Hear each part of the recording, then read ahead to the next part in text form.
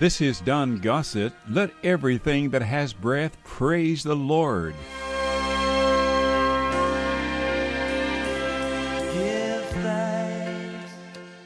Welcome to Bold Bible Missions and your radio teacher, Don Gossett, a worldwide ministry with all of its outreaches made possible by you. Don is sharing from his book, The Power of Your Words, co authored by Don and Dr. E.W. Kenyon. And now, sharing with you God's Word to achieving a faith building and victorious life, here is radio teacher, friend, and world evangelist, Don Gossett. Well, thank you, Mike. I'm sharing with you an exciting truth that you can learn to say who God says you are. You can learn to say what God says you have, and you can learn to say what God says you can do. Three awesome facts I want to emphasize. I have shared with you already about the healing of my daughter Jeannie when she was stricken with club feet and deformed hands and a respiratory condition and was restored completely whole. And the doctor who had been her caregiver all that time, he was simply amazed at what had happened. He said to me, Jeannie was not well, Don, when she was born, and there wasn't a lot of hope for her survival, but now she's completely well. Both her feet are perfectly normal. Her respiration is fine. All I can say is I'm glad it happened. Well, I'm so glad it happened for my daughter Jeannie there years ago when she was just a baby. And then this challenge of my wife having rheumatic fever. As I pondered these truths to my heart, I realized I had been victimized by words out of harmony with God's Word. I would speak such phrases, I can't. And I would say, I'm afraid. Yet God's Word told me I can. And God's Word declares, Fear not. So my words were out of harmony with God's Word. I was disagreeing with the Lord. And then came another big scripture to me, Amos 3 3, where God asked the question, Can two walk together except they be agreed? I discovered I could never walk with God in blessing, triumph, and abundant supply as long as I disagreed with God. So here was the key. I had to agree with what the Lord said. I had to say what God said about my life. And I learned to say what He said about my health, my finances, my strength, my anointing, my empowering, all of these blessings God had promised in His Word. Now, as the Holy Spirit was reproving me, He also led me to write down at that time for my own admonition what I was to label my never again list. And thank God this truth not only changed my life, but He enabled me to share it with literally millions of people in many languages, and thank God the truth of it has prevailed. I really praise God is true that if what you believe you're saying, then what you say is what you'll get. If you say, I can't pay my bills, for instance, you won't be able to pay your bills, even though God's Word says, My God shall supply all your need according to his riches and glory by Christ Jesus. But if you change your negative way of speaking and thinking based on God's promise to supply, you'll receive his financial miracles you need. Now, this is entirely what I want to say to you to share with you how you can get what you say. But before I explain how to get what you say, I want to get in one word of warning here. Since what you say is what you get, don't ever say anything you wouldn't want to get. Let me repeat that statement. Since what you say is what you get, according to Mark 11:23, don't ever say anything you wouldn't want to get. And to help you overcome this habit of negative speaking, negative speaking, that has been a dominating force in your life, I'd like for you to start where I started in an overcoming faith built life. And when I wrote down the 12 affirmations that were absolutely to change my life forevermore, I wrote, wrote down, Never again will I confess I can't, for I can do all things through Christ who strengthens me. Never again will I confess lack, for my God shall supply all my need. Never again will I confess fear, for God has not given me the spirit of fear. Never again will I confess doubt and lack of faith, for God has given to every man the measure of faith. And never again will I confess weakness, for the Lord is the strength of my life. And the people that know their God shall be strong and do exploits. And never again will I confess the supremacy of Satan over my life, for greater is he that's within me than he that's in the world. Never again will I confess defeat, for God always calls me to triumph in Christ Jesus. Never again will I confess lack of wisdom, for Christ Jesus is made unto me wisdom from God. And never again will I confess sickness, for with his stripes I'm healed. And Jesus himself took my infirmities and bare my sicknesses. Never again will I confess worries and frustrations, for I am casting all my cares upon him who cares for me. In Christ, thank God, I'm carefree. And never again will I confess bondage, for where the Spirit of the Lord is, there is liberty. My body is the temple of the Holy Spirit. And never again will I confess condemnation, for there is therefore now no condemnation to them which are in Christ Jesus.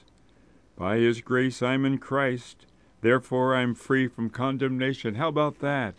Well, praise God, these are 12 principles that change my life to enable me to cease being an eye canter and afflicted with that eye cantitis disease, to overcome and prevail, that uh, the Word of God shall have domination in my life, for it's through Christ we can do all these things.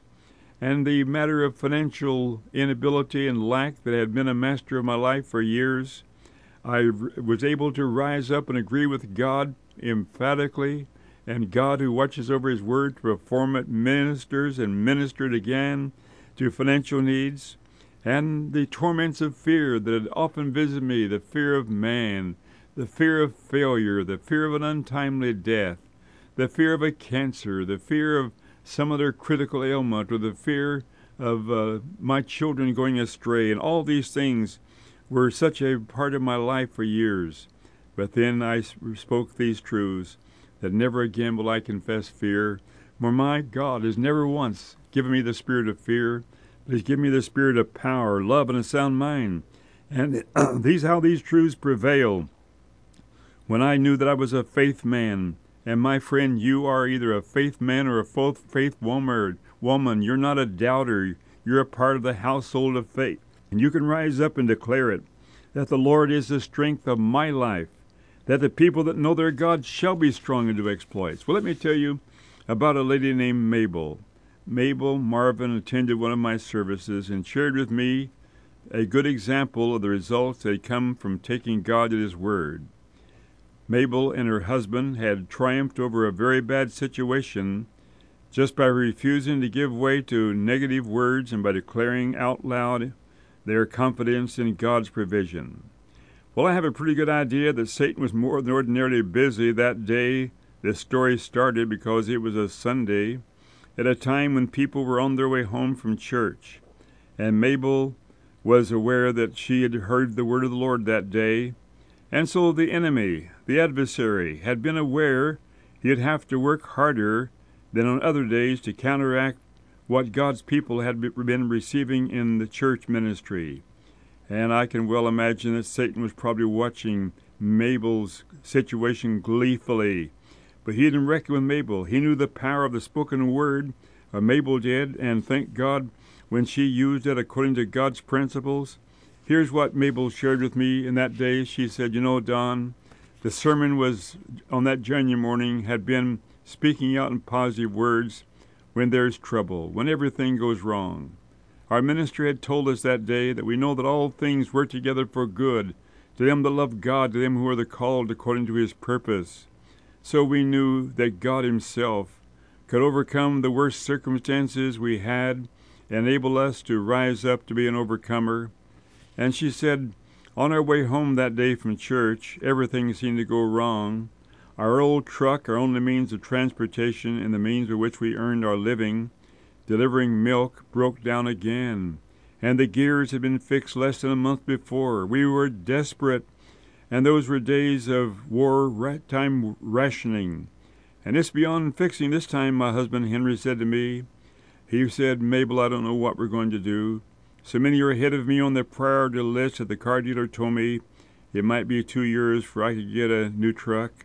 But we need a truck now. How we get to church? How we feed our uh, get feed for our cows? How we deliver our milk to or get our groceries? Henry said, I'm just sick about all of this. Well, um, Marv, uh, Melba reminded him, Henry, with God all things are possible. We've prayed a long time. Now it's time to praise the Lord for a new truck. Let's put the Word of God into practice today. Well, thank God, Henry was rather than joyful about joyful about that idea. He says, Mabel, suppose we do, and we still don't get a new truck. Well, Mabel continued her confidence that God would be her provider for her and her husband. And she said, I'm going to keep, keep on worshiping the Lord until there comes a full manifestation. Mabel described it as two miles over two hills, bitter cold day. But every step of the way, Mabel praised the Lord for a brand new truck, and the next day she continued to praise the Lord. She said, I was on my knees praising the Lord when Henry called to tell me he had a new Dodge truck. Mr. Johnson, the man with whom he had ridden into town after our truck had broken down, had stopped at the Dodge agency on an errand. A truck had arrived that afternoon, but the man who had ordered it refused it because the wheelbase was too short for him. And Mr. Johnson mentioned our need to the dealer, and thank God Henry had a new Dodge truck. Well, Mabel was a living example of what you say is what you get. She spoke that she would have a new truck, that God would be their provider, and even though everything seemed to be against the concept, God ministered and confirmed His word, and they had the new truck for their living and their uh, well being. And my friend, whatever you're facing today, whatever, whatever unmet needs are in your life, if you need healing or you need financial provision or you need other factors, come on, let's speak God's word and rejoice in Him in Jesus' name. Receive it today. And now join me as you and I together rejoice in this wonderful Lord. Christ Jesus is the object of our adoration. He's our Savior. Will you join me as we praise Him together? Praise the Lord. Praise the Lord. Praise the Lord. Praise the Lord. Praise the Lord. Praise the Lord. Praise the Lord. Praise the Lord. Praise the Lord. Praise the Lord. Hallelujah. From the Radio Library of Bold Bible Living with Don Gossett, Biblical Principles to a Dynamic Spiritual Life, as timely today as they were yesterday, and will continue to be so tomorrow. God's purposes do not change, God's ways do not change. Your prayers and love gift to Bold Bible Missions is your way to partner with us in winning the lost for Christ. So please write today. Send your letter of support to Bold Bible Missions in Canada, Box 75120, White Rock, British Columbia, 4VA OB1, or Box 2, Blaine, Washington 98231. Bold Bible, a worldwide ministry, is only made possible by you. Please send your prayer request, your praise reports, and letters of support, Box 2, Blaine, Washington 98231. Or in Canada, Box 75120, White Rock, British Columbia V4A OB1. And thank you from all of us here at Bold Bible Missions.